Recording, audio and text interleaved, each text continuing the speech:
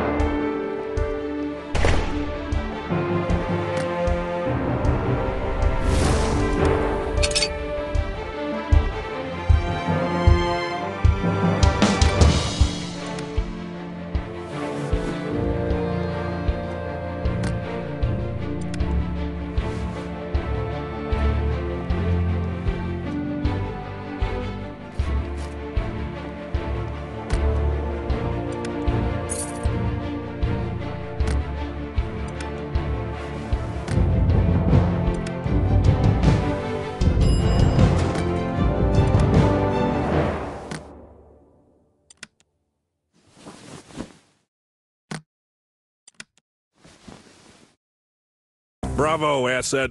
Juan Friz won't be dropping by to collect his valuables anytime soon. And speaking of valuables, our analysts are nearly finished tracing those withdrawals. They're confident that this could lead straight to the top of the entire operation.